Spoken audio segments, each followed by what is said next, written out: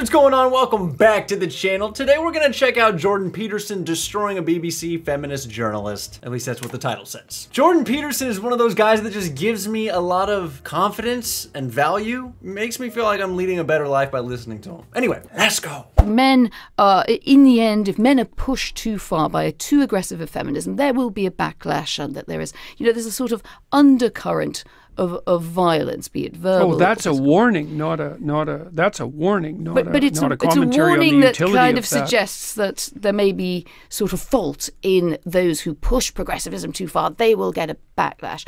Some people, of course, see that as a bit of a permissive environment for bad behaviour. Well, people tend to confuse describing the likelihood of something with supporting the fact that it exists, and I'm describing the likelihood of something, not not supporting the fact that it exists. If you push too far on the left, you're going to get a backlash on the right. That's how things work. And this is just a derivation of that as far as I'm concerned. How does that work So- in domestic, in the context of domestic violence? Oh, I don't I don't think it's applicable in the context of domestic violence at all. I don't I think those things are, are completely separate issues. I mean, you, you were mentioning to me just as we were chatting. And I was speaking only politically with regards to the backlash. That was that that was a comment on, on political backlash. It had nothing to do with domestic violence. That's a whole different issue. But violence often pops up in in your work as something you think drives things. That you, I think you've said in relations between men are more are regulated by a background threat of force, and in a Oh, sense, that's that's why men have difficulty with women.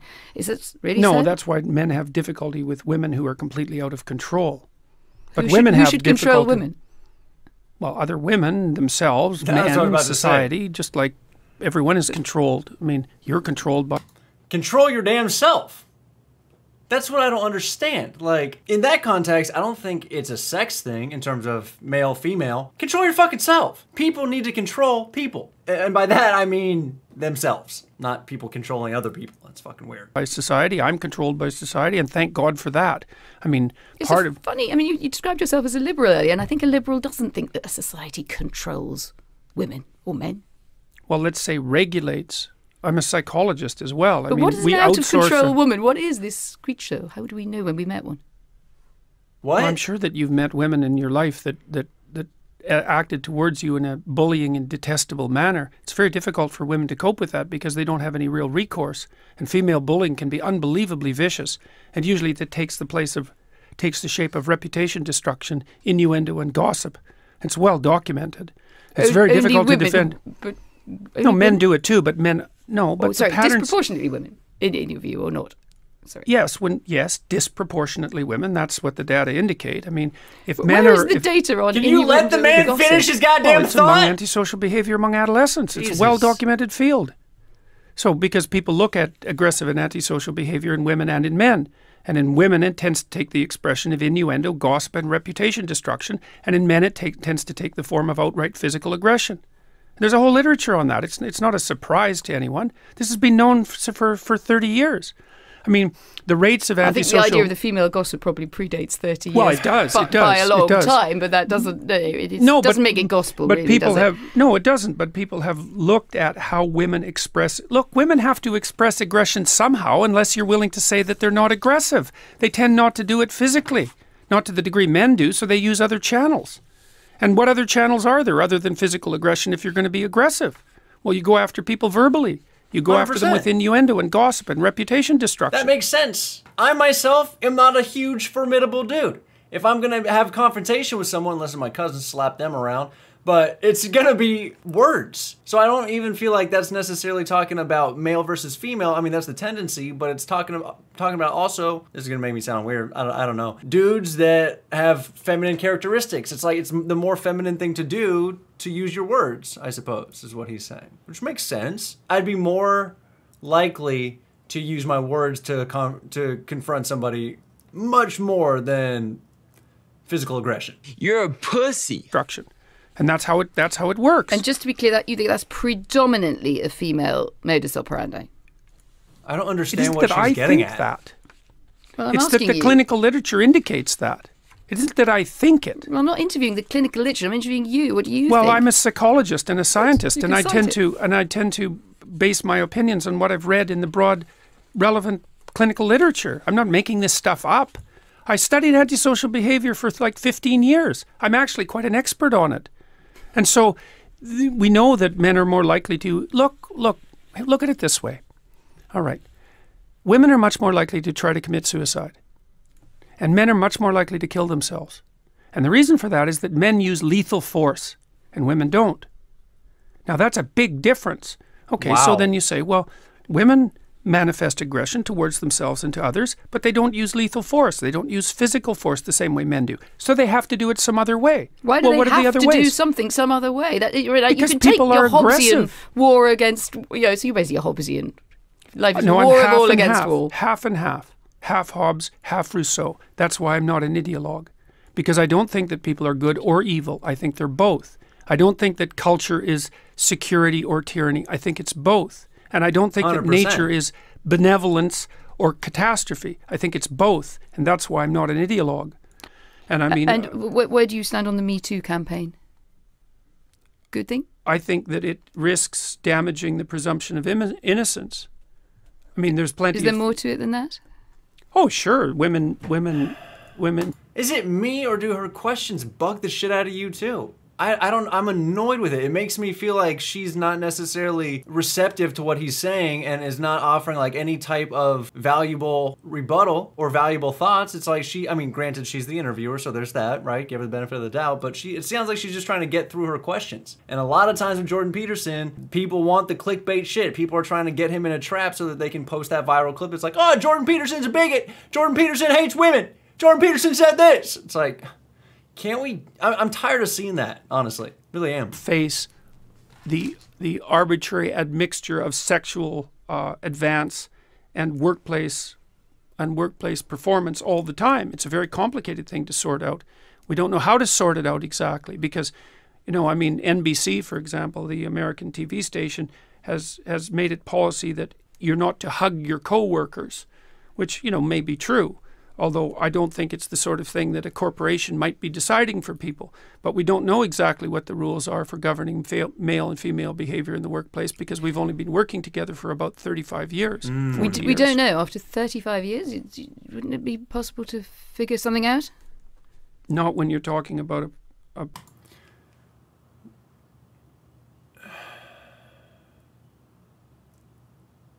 It, I get annoyed by stupid ass questions. Wouldn't you think it's possible that we could do that?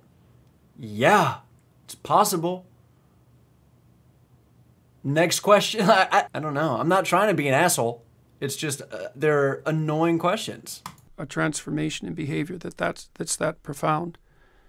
I mean, we don't know how men and women can work properly together in the workforce. It's very complicated. But they men do. not know how to you compete know, millions with of women. men and women across the world go to yeah, work but you together have day but, in, well, day out. But you were the one who So- asked about Me You're Too. the one Me who. Too Don't is start with you're the one who. Me Too is a, well, Me Too is an expression of the fact that men and women are having a hard time regulating their behavior in the workplace. It's the only reason I responded to that because the question I was think posed. it's more broadly suggesting that, that, that some men are having a grave problem with it. What is the lesson of the Harvey Weinstein story for you? Someone should have said something about Harvey Weinstein much sooner. But we could start somewhere else. We could start with Harvey Weinstein was wrong to do what he did before we get Yes, round well, I- to yes, yes. other, Well, other people should have fucking given. spoken out. It's just, Fair- that's the look, no, secondary no, order issue. Fair enough, fair enough. I thought that went without saying. There are going to be psychopathic predators.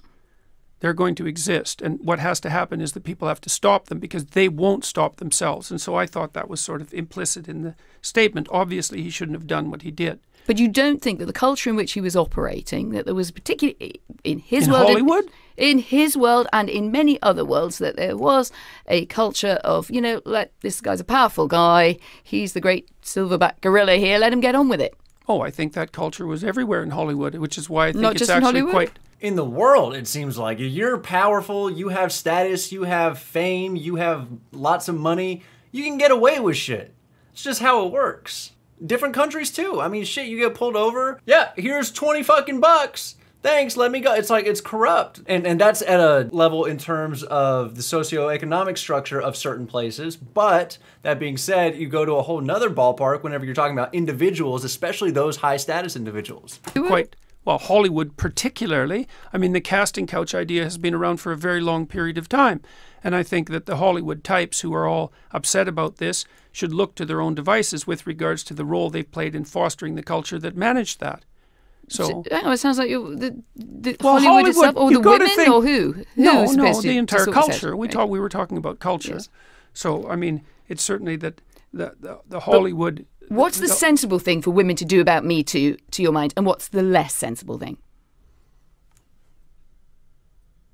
It's an interesting question, actually. That that's a hard question. It, it isn't obvious to me exactly what men and women have to do in the workplace to make that kind of sexual predation me- much less likely, with al- also subjecting themselves to restrictions on the sexual ele- aspect of their existence that would be unbearable. It's very difficult. What, what would be unbearable a- about that? How about everybody wears the same uniform to work? I don't think That's what the Maoists. Well, look, if you want to eliminate the differences between men and women sexually at the workplace, you have to constrain the sexual differences. I mean, men wear suits to work. Well, we right? don't have to eliminate the sexual differences for people to work together with respect. You have to eliminate them to some degree. Why? I'm Well, genuinely because you're trying puzzled. to. You're trying. The question here is, to what degree should sexually related behavior be impermissible at the workplace? Well, it depends on how you define it. Should you be able to dress attractively? And if you can dress attractively, what do you mean by attractively exactly? Like precisely. I got right, into so, trouble. Uh, I mean, I, I hope I'm dressed nicely today. You look very well dressed to me, right? You're a man, I'm a woman. We're both nicely dressed. Now we're getting on with the interview. What's the problem or perspective? Well, the problem is, is is the boundaries of what constitutes nicely dressed. I also think she's reaching. It's like just because this instance is a civil instance and we're able to carry on an intelligent conversation doesn't mean that that happens for every man and woman who work together. You know? because hmm. there's look because part of what constitutes attractiveness part of what constitutes nicely dressed is sexual attractiveness because you can't separate out human attractiveness sexual attractiveness from human attractiveness. And so then the question is exactly where are the boundaries? And that's what the discussion is about. Where are the boundaries? The uh, dinner parties, which are described in a forward to your book, where friends enjoy debates and disagreements, do you think in the broader conversation we've lost that spirit or in danger of losing that spirit? I think 100%. I think there's a lot of people out there that want to have intelligent dialogue back and forth, but I feel like everybody's so fucking triggered nowadays and everybody's so quick to label people racists and bigots and fem uh, uh, all sorts of things. A- any term, they're trigger words. We're so quick to label, so quick to get offended that I feel like essentially intelligent dialogue is dying, which is probably why statistically kids are getting fucking stupider. I mean, there there's obviously other aspects as well. It's not just that, but you know, increased use of phones. You know, that's a whole nother rabbit hole where we go down. It's like is social media and well, I guess social media is different from the phone. I was gonna say phone use um, leads to lack of intelligence, but there's so much information, so I, I don't know. It goes to a lot of different areas, but it's interesting. Oh, I think I think we're always in danger of losing that spirit, right? Because lack of freedom is much more probable than freedom. We have to Hmm. be very careful to maintain that because it's always under threat.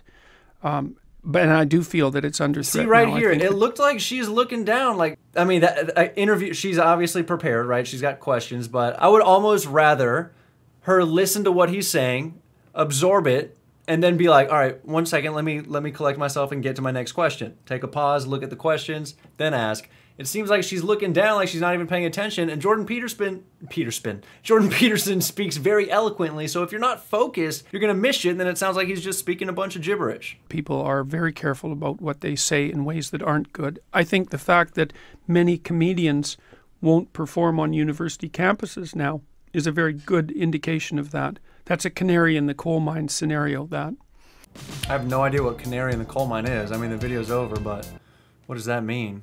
An early indicator of potential danger or failure. Ah, okay. Once I start reacting to these type of videos, a lot of people start talking shit. In my mind, these are interesting topics. These are thought-provoking topics. I like to think, I like to be challenged, I like to question my own morals and beliefs, I like to instigate thought with other people. It's just a good way for us to formulate thoughts because these are the topics that mean the most. These are the topics that are going to propel our generations going forward. So the more that we think about them, the more time we have to sit and think about these topics, I think it's nothing but good. I enjoy reacting to these, so I'm gonna keep doing it, and I hope you guys find some value in these videos. Drop some comments down below, let me know what you think, and with all that being said, I'll see you in the next one. Love you guys.